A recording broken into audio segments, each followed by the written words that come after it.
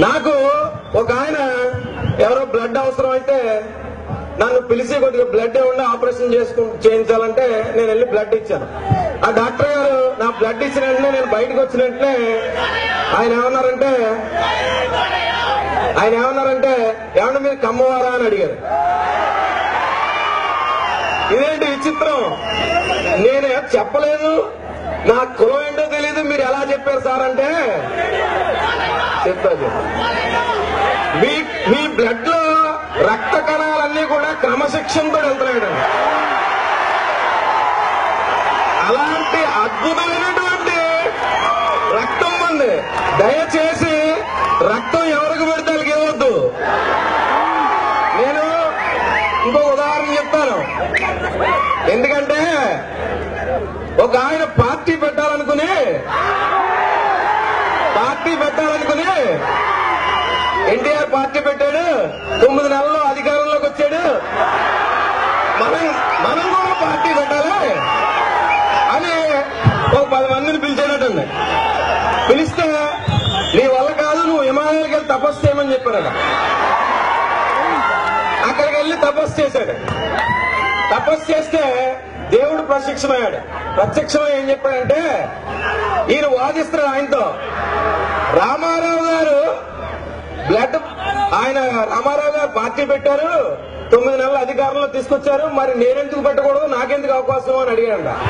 అడిగితే దేవుడు చెప్పాడు ఏమనంటే ఆయన వెనకాల కమ్మ వాళ్ళు ఉన్నారయ్యా.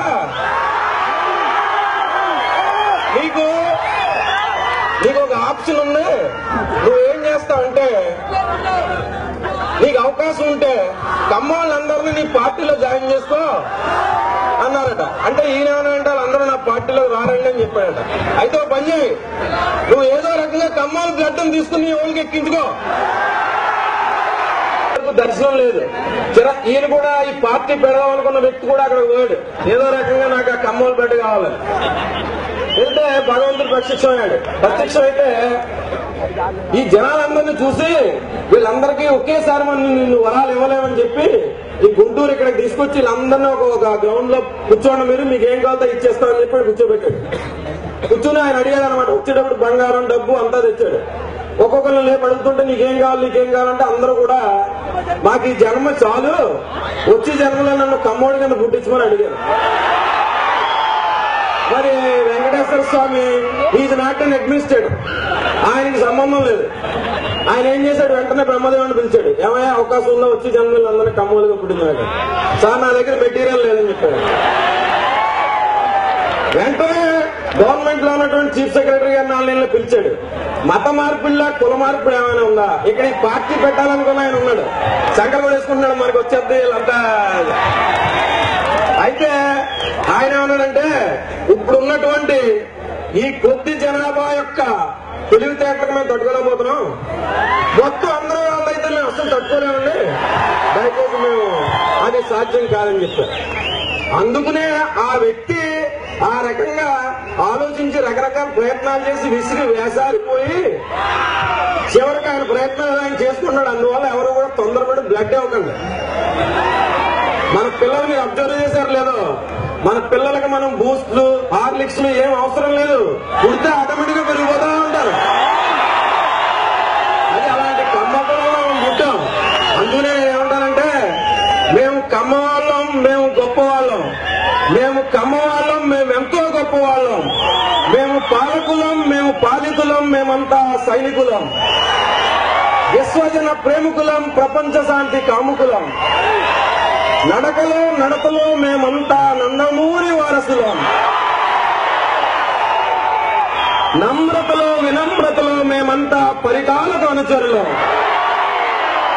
తరతరాల చరిత యుగ యుగాల భవిత. నేను ఏమంటానంటే ఆ ఈ సృష్టికర్త అయిన బ్రహ్మదేవుడు కూడా కమ్మవాడే. లేకపోతే ఆయనకి అంత స్వార్థం ఉండదండి. నేను ఒక విషయం చెప్- నయనం ప్రధానం ఉన్నారు నేనేమంటానంటే సర్వ కులాయం కమ్మ కులం ప్రధానం.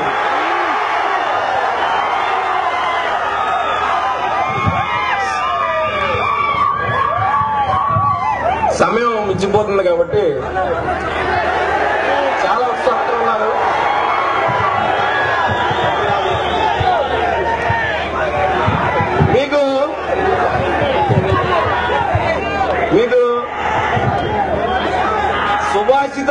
చెప్తా అంటే భక్తి లేని పూజ శీలం లేని మనిషి వినయ